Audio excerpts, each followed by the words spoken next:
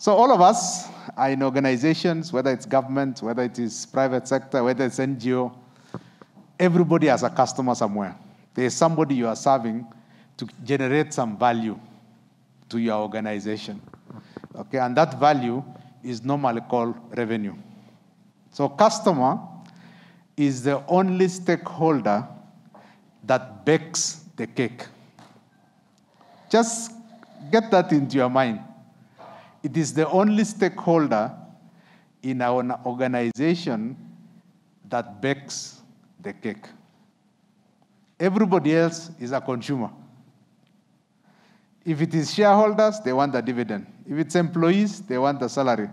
If it is suppliers, they want to be paid for it. If it is banks, they want to be repaid their loans. Everybody is waiting for the customer.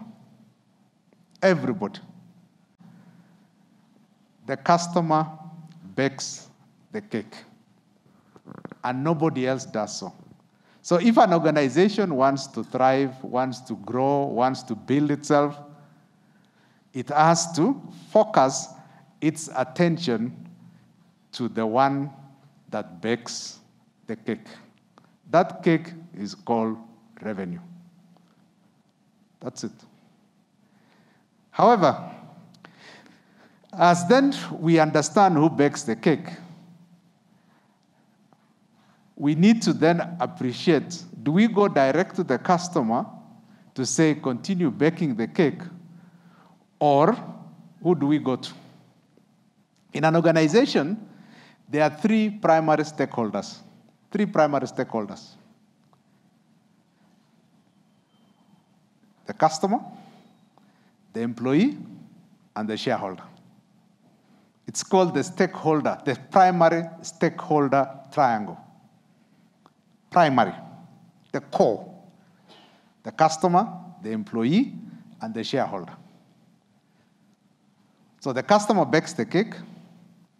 The employee is the internal stakeholder that then assures that the cake that makes the product that allows the customer to give us revenue.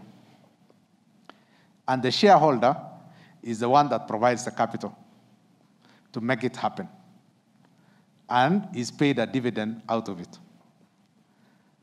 Now, for an organization, therefore, to be successful, customer service and experience begins and ends with the internal stakeholder. And there's only one. There's only one internal stakeholder, and that's the employee. If you want successful customer experiences, that experience begins with the employee. If we have a successful, a happy, motivated, inspired, say all the nice words, employee, the customer experience will be good. You don't have to struggle for it. It begins with the employee.